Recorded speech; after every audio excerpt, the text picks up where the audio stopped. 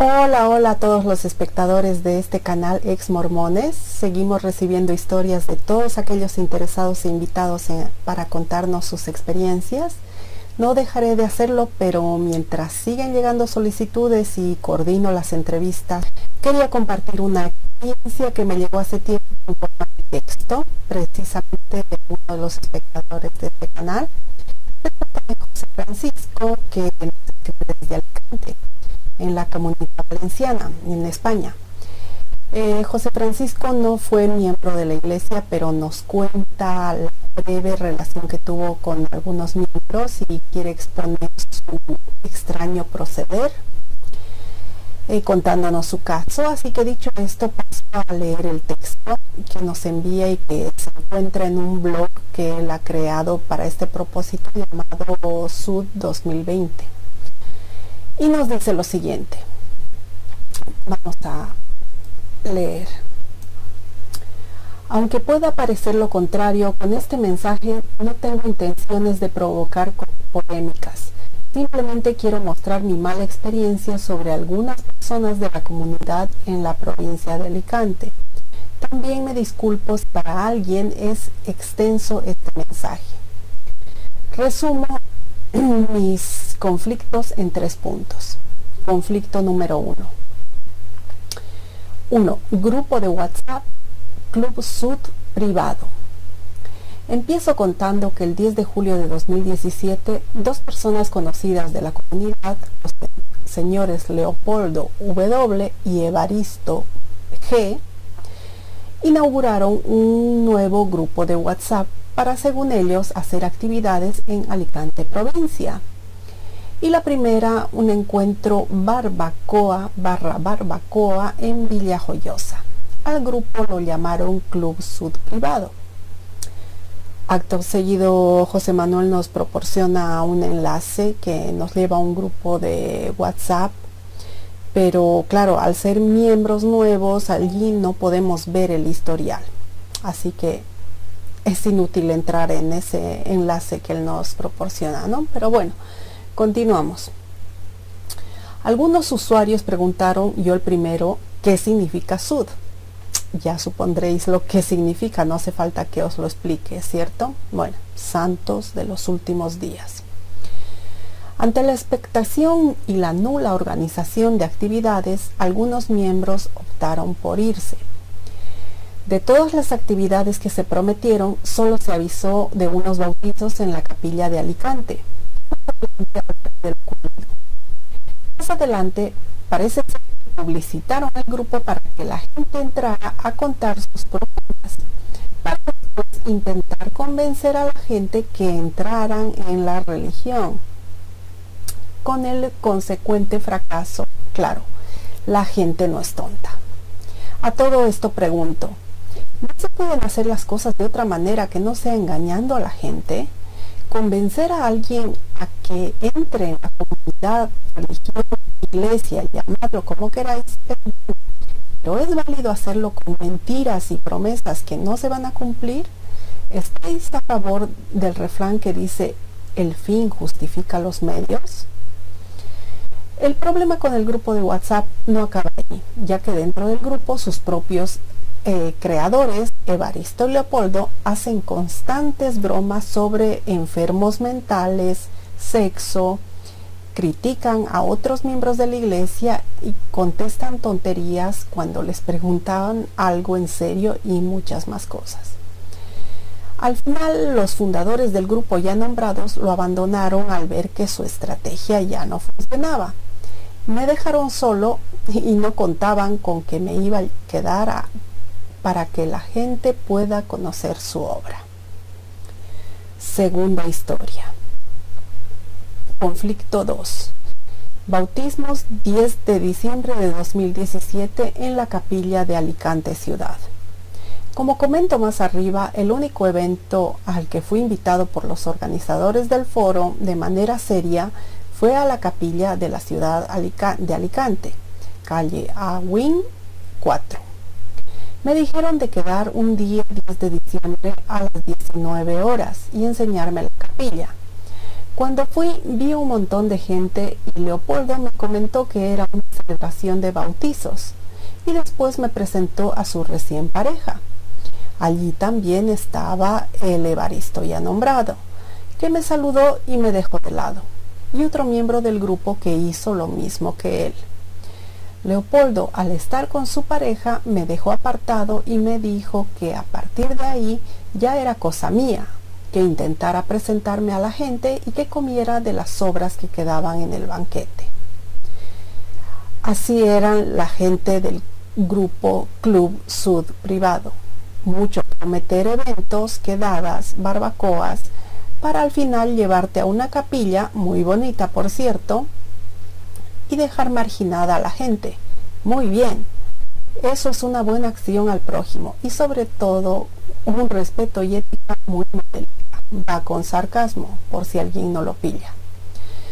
Yo me podía haber ido de allí, estaba en mi derecho y con razón, pero ya que hacía mucho frío fuera, decidí quedarme y ver el, el lugar.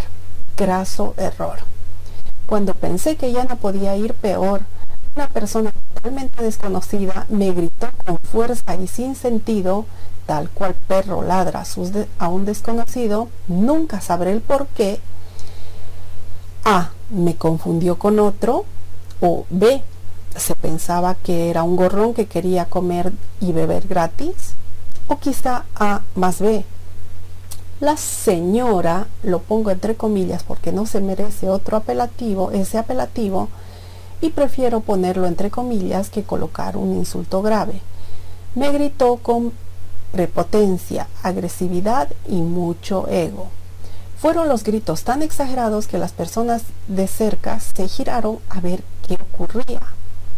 No podía aguantar más, cogí mi abrigo, me despedí de Leo, no sé ni por qué lo hice ya que me ignoraba todo el rato, y justo cuando me disponía a marcharme me fijé que la gente trataba a esa señora como de manera sumisa como si fuera una organizadora o una líder.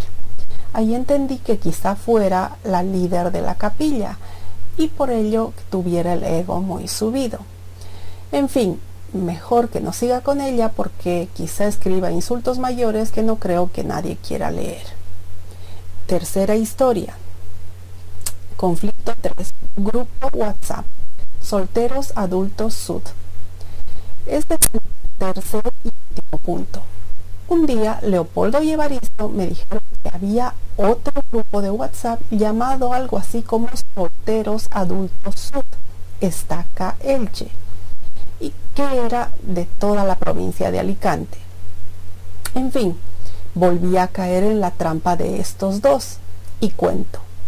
Me dijeron que era un grupo de solteros mitad hombres y mitad mujeres que buscaban parejas y se hacían eventos para que la gente se conociera y así encontrar pareja. Evaristo y Leo eran dos de los administradores del grupo, del cual había más administradores. Después conocí a otra administradora que se hace llamar Teresa J, una mujer que dice estar enferma y que cobra una paga por ello pero yo la vi súper sana, activa a tope y muy bien. Esperemos que no sea de esas personas fraudulentas que engañan al Estado con enfermedades barra minusvalías falsas para así ganar dinero a costa de los contribuyentes. Eso lo he visto ya en bastante gente. Y sería el colmo que esta personaje también lo hiciera. Aparte que esta chica no borra los mensajes confusos de los eventos, como aquel que un chico colocó un nombre equivocado de una playa y Teresa no lo borró, provocando malos entendidos.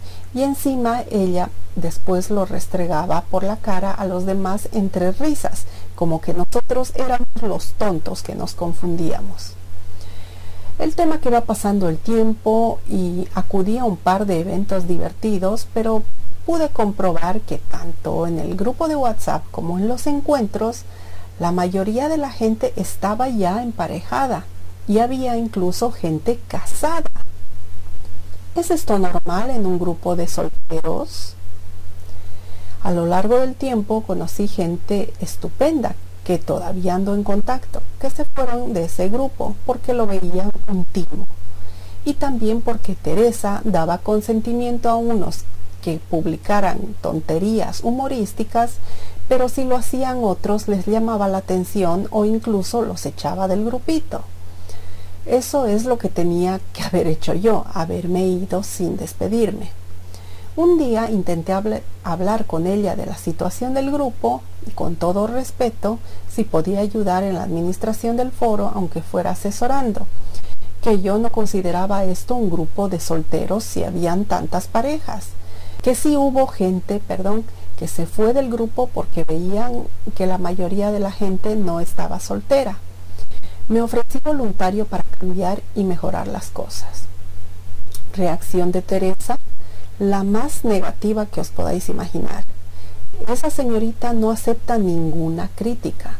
Ya fui advertido de ello por un par de personas y me dijo que toda opinión contraria a la suya eran chismes y que estaba orgullosa como administradora y líder de adultos solteros. Intenté no hacerle caso, pero una vez tuve la mala suerte de toparme con un señorito llamado Carlos que le conté en privado mi opinión, que el grupo de WhatsApp era una trampa para meter a gente en una religión, opinión que todavía mantengo, y con capturas de pantalla, y amenazas, empezó a acosar a la gente del grupo de manera totalmente esquizofrénica. Algunos del grupo ya me avisaron que es un chico muy raro y que quizás sufría de problemas mentales, hasta conseguir la expulsión de ambos de parte de Teresa. En fin, según tengo entendido, cuando un miembro nuevo investigador es como mi caso, da problemas, la persona que lo presentó a la comunidad tiene que hacerse cargo de hablar con los demás y también con el susodicho en privado. Esa persona ya he nombrado, que ya he nombrado mucho, es Leopoldo A. A este chico yo lo conocía desde hace años y siempre fui su hombro para que me contara sus problemas y le echaba la mano cuando quisiera. Ocurrió en varias ocasiones, pero aquí por aquí no voy con intimidades. Yo lo consideraba mi amigo, pero él me abandonó ya que parece ser que le perjudicaba en la religión en la que se convirtió recientemente, llevaba algo menos de un año. También hace justo un año intenté hablar con Evaristo, que fue el que, al que metió en ambos grupos de WhatsApp y me colgaba el teléfono. Un conocido en común se puso en contacto con él y me informó que Evaristo estaba muy disgustado conmigo por la polémica del grupo de solteros donde la mayoría de la gente estaba emparejada, viviendo juntos o casados, y que no quería saber nada más de mí en la vida. Un dato importante que acabo de recordar al escribir esto, Teresa alardeaba que gracias al grupo se conocieron un montón de parejas y Evaristo la interrumpió bajándole a tierra diciendo que solo dos parejas se conocieron. Esa situación provocó cierto conflicto que duró durante minutos, Y gracias a esto se descubrieron algunas manipulaciones y después Teresa y Evaristo, el listo de Evaristo, lo intentaron arreglar. Muchos al leer todo este tocho se preguntarán, ¿por qué sueltas todo esto casi un año y medio después? Pues porque llevo más todo ese tiempo intentando localizar a esa gente para dialogar, cambiar opiniones de lo sucedido, recibir disculpas y sobre todo hacer las paces. Pero nada, no ha habido manera. Al final he decidido rendirme y hacer públicos los problemas que he tenido con estas personas, que han conseguido que nunca más me pase por una por, para no verles. Eso es todo, ya es el fin del ladrillo este. Parece ser que la gente que nombro en toda esta historia tienen derecho a mentir, manipular y cometer errores grandes y los demás tenemos la obligación de perdonarles, pero en cambio cuando los demás opinamos diferente o cometemos pequeños errores se nos tiene que castigar con ninguneo, gritos y humillaciones. Eso significa que los santos de los últimos, en los santos de los últimos días no hay igualdad. y existe una jerarquía de líderes a los que hay que obedecer y ser sumisos. Nada más, muchísimas gracias a los que hayan llegado hasta el final. Y bueno, José Manuel, gracias a ti y por hacernos llegar tu experiencia, porque desde luego que en las capillas no se hablan de estos temas, ¿no? o se hablan en teoría, pero vemos que varios casos en la realidad no corresponde con dicha teoría.